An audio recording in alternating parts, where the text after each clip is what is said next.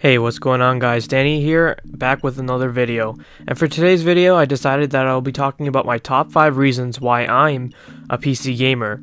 So before I begin, I want to first address that this isn't a video of me bashing on consoles or any other gaming platform that you may like. I don't see anything wrong with your personal choice for gaming being the Xbox One or PS4, and there's definitely nothing wrong with someone strictly being a PC gamer. I'm going to be talking about what appeals to me for the PC platform, and why it is my go-to choice for gaming. Now I want to mention that I've been a console gamer for most of my life, but over the past few years, I found myself gradually playing more on my PC. The other reason is that I've always had a big interest in computer hardware. So I'm sure you're probably tired of me rambling on about all that. So without wasting any more time, let's begin with this top 5 list. Number 5. The endless amount of input devices and peripherals. There is an extensive amount of devices that you can use to suit your preference for gaming.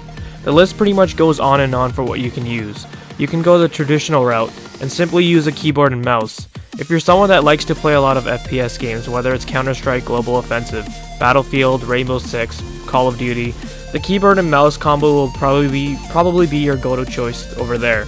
For those types of games, aiming with the mouse is just a lot more accurate than an analog stick on a controller. Also, a keyboard and mouse is great for MMOs, RPGs, RTS, and MOBAs because of all the commands that you have to put out. Not to mention that you have custom binds and macros. Also on the PC, you can use whatever controller you like. If you want to use an Xbox 360 or Xbox One controller, you can do that, or you can also even use a PS4 controller. These controllers are ideal for many games, such as multi-platform games, sports, games, and personally I find myself switching from a mouse and keyboard configuration to use an Xbox One controller. And when I'm playing an action adventure game, such as Assassin's Creed, or uh, sports games such as NBA 2K, the controller works just great.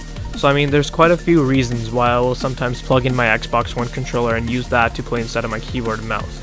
Another reason why you may want to use a controller is if you want a cas casual couch experience where you can play on a larger display such as your living room TV. Having a mouse and keyboard in your lap feels very awkward and, un un uncomfortable as opposed to having a controller. You can even use old controllers such as a GameCube controller, eh, or even go back much further and use an old NES controller. And those might be appropriate to use when you're playing some older games on an emulator. Another reason why I like PC, but more on that later. Yeah, you might need to get an adapter or buy a replica controller that has a USB connector interface. But I mean, it's good to know that the options are out there. Adding to this, you have so many more types of devices available such as motion and virtual reality devices like the Oculus Rift, and you also have these like small touchpads that you can use for games like Osu. I've also seen, seen some really crazy setups from simulator fans, where they have replicated a whole vehicle dashboard to really create a deep immersive environment. So I mean the list just goes on and on, and if I sat here talking about every single peripheral device or input device, then this would turn into a whole separate video. The whole point that I'm trying to get across is that you can use whatever you like to complement your preferences. You're not just locked to this one ecosystem of hardware from one company. Number 4. The game deals. It's cheaper to play on PC, and you get better value for your money. This is one of the major factors as to why I switched to PC gaming. It's a lot cheaper to play on the PC, and you're getting a lot more for your money. Since the PC is an open platform, not really controlled by anyone, you have the freedom to purchase your games from wherever you want. There's always the yearly Steam sales that happen around major holidays such as Christmas, Halloween, summer Steam sales to, I, I don't know, commemorate the whole summer school free spirit, I suppose. But I mean, the point is, on Steam, the sales can be quite ridiculous, and I don't mean that in a bad way. It's amazing to see a new AAA title to be discounted up to 40, 60, or even 80% at times when some of these games had only hit the market for a few months. Along with Steam, you have other websites such as Green Man Gaming, Good Old Games, Origin, and G2A that offer similar sales. And to put the cherry on top, you have Humble Bundle, which literally has the most unbelievable sales. The Humble Bundle is such a broken and OP website where you can get games that cost $20 by themselves and only for and get them only for a few bucks. I recently bought the bundle that had some arcade games such as um, arcade racing games such as Grid 2, Grid Autosport, Dirt, and if I was to buy those games separately, I would have probably paid around a total of 60 to 80 dollars or so, or maybe even more, but instead I only ended up paying about $5. Another similar website is the Indie Gala, where they offer new bundles every day on some sweet indie games, again for only a few bucks. So on consoles, you don't have these opportunities because the only place where you can purchase your games are from retailers such as Best Buy, GameStop, or the actual Xbox Live Marketplace or the PSN service. The other reason why I will say that I find PC gaming to be cheaper is simply because we don't have to pay a monthly or yearly subscription fee to play our own games online. I find the fact that you have to pay 50 bucks a year on top of your internet subscription fee to be total bullshit. And it's not like you're getting an experience that is even worth that price tag. Because I hear so many of my friends that are still console gamers complaining about how many times the servers from PlayStation Net or Xbox Live go down. Now, one might say that you get benefits with those subscriptions, such as free games, but the thing is, there are a ton of free to play games that are available on PC. Now, you might not be able to build a performance PC that costs less than a console. You might be able to match the price, or you might be able to build one that costs slightly higher, but the point is, you're getting a lot more for your money. The machine will outperform a console and be capable of playing games at 1080p at 60 FPS. The current generation of consoles is unfortunately struggling with the titles where 1080p is not even achieved. They use dynamic scaling resolutions and the frame rate is all over the place. But I'll explain more about the hardware part later. Number 3. The huge game library, backwards compatibility, emulators, more exclusives. The massive and wide-ranging game library that is available on PC is something that appeals to me very much. As I mentioned in the fifth reason reg in regards to which input devices you could use, there's a variety and unique genres of games that you can decide to play from. Playing MOBAs such as League of Legends and Dota was an experience that I never had on playing on consoles. Apart from MOBAs, there are many other types of games such as interactive story point and click games, real-time strategy games, many MMOs, simulators, city builders or tycoons, and so much more. Again, like input devices, the list keeps going on and on. A lot of these games felt totally totally unique and their experience felt fresh. Along with that, you have all these great indie games that may not look always the most visually appealing, but there are sure some definitely damn good story driven games out there, and a good example of that is Undertale. The PC just has a huge library with so many exclusives to play from. With the consoles, I found that I wasn't exposed to that enormous library of games, and probably wouldn't have had the opportunity to play. So with that said, I really like the fact that I can enjoy most of those same games that I could play on consoles such as first person shooters and action adventure games along with all these other great games but obviously minus the exclusives.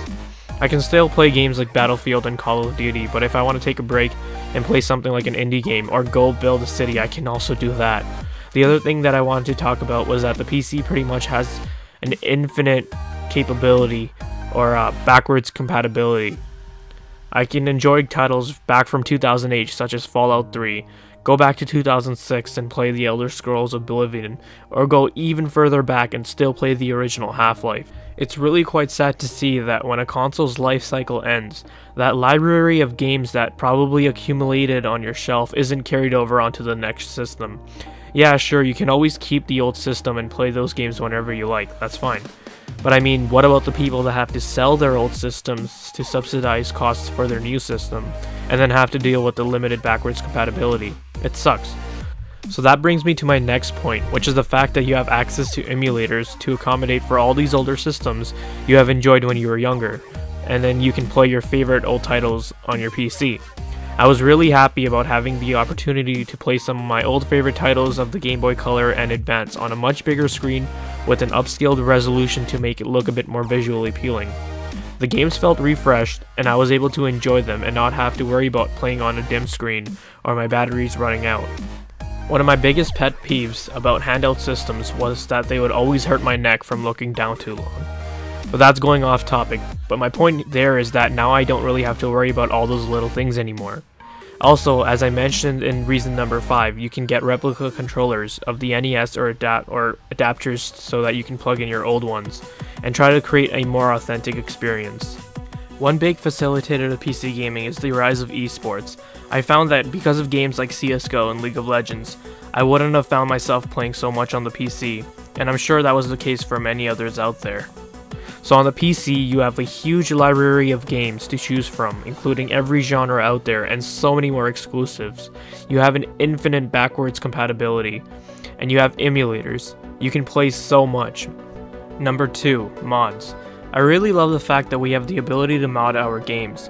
One of the reasons why PC gamers love mods is because it can add so much to a game's vanilla experience. You have so many mods for so many different things, whether you want your game to look more visually appealing or want some cool new weapons. For example, you may have seen how many mods there are for the Elder Scrolls Skyrim. A lot of those mods have really changed up the way that the game looks, and there are some absolutely gorgeous ENB texture mods. Like seriously, is this real life? It just goes to show that these that some of those modder, modders out there can outdo the game developers or fill an empty void that might have been left originally. Aside from the amazing visuals, you can go completely crazy and even add the flash into GTA 5. What I also really like about mods is that they allow you to increase the replayability of a game and completely change it from the original experience you had. Something like that is very important for people who can't afford to buy new games every so often, and so from the help of the gaming community you can spend more hours into a game and not be bored of it, all for free. Another thing that mods are great for is adding useful add-ons and tools into the game. As you're probably seeing from the footage, there are a lot of boxes on the screen that are showing me various and all kinds of information from the time, the map, combat statistics. All of this wasn't actually included in the game, not even the minimap which I think is an essential for games like MMOs. However, I wasn't worried, because I knew that all I had to do was search up a few mods and that would easily take care of the problem. By seeing all these fantastic mods out there, it really shows you how dedicated the gaming community can be and allows you allows one to appreciate that people can take the time eh, to create and add all these great things into a game for everyone else to enjoy. And finally, number 1, the better performance, the better graphics, freedom of hardware, complete customization. It's a PC, like what more do I have to say? This aspect of PC gaming, I'm sure is what caters to all the audience out there, and is what looks to be the most appealing. You have the complete freedom to choose whatever components you like in your own rig, and have the ability to play at whatever resolution, whatever target FPS you may like. As mentioned before, 1080p is what's most standardized in PC gaming these days, but if you want, you can crank up the resolution all the way up to 1440p or even 4K. So if you want to play at a high resolution and can afford it, then go ahead and knock yourselves out. Go out, you can go out and buy a 980 Ti or a Fury X and enjoy that. You're not just locked down to one resolution, you have the freedom to choose from so many graphical settings in-game. You can still enjoy PC gaming whatever your budget is. I've seen tons of builds that cost relatively the same as consoles or just a slightly bit higher and perform a lot better. I mean, we're a little over two years in the cycle of the current generation of consoles, and if, if you looked at some of the popular recently recently released AAA titles such as Witcher 3, Fallout 4, and Just Cause 3, the performance was just laughable. Some of those games didn't even run at full 1080p and still struggled with hitting 30 FPS, which I think is just unacceptable. Simply put, you get much better overall performance. You have superior graphics and a higher frame rate.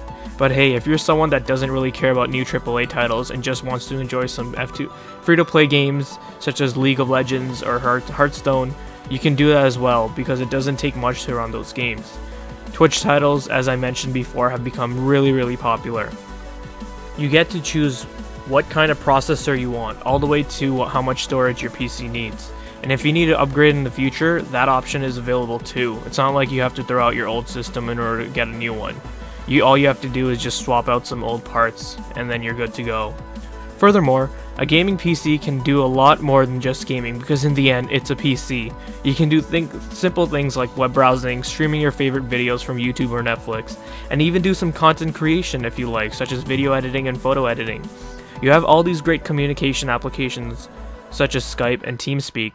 Again, we're going back to the whole freedom and software, uh, freedom of software and hardware argument.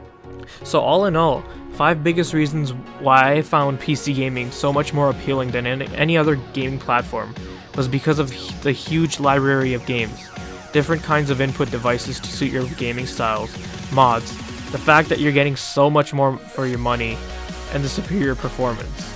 To conclude, I'll say that I found myself ha having a lot of freedom on the PC than any other platform, as well, as well as having a machine with so much versatility was a big plus. Will I buy another console in the future? Well, maybe, maybe not. I most likely don't see myself buying a current generation console, because although I do miss some of the great exclusives such as Halo and Forza Motorsport, I can't really justify getting another system for a couple of titles. I'm really looking forward to watching the future unfold in the gaming industry, how the PC market grows, what will become of the current generation consoles and their future. And that's pretty much all I have to say, guys. If you enjoyed my top 5 list, smash that like button. Leave your thoughts down in the comments section below. Subscribe for more videos like this, and as always, I hope I hope to see you in the next one. Thanks.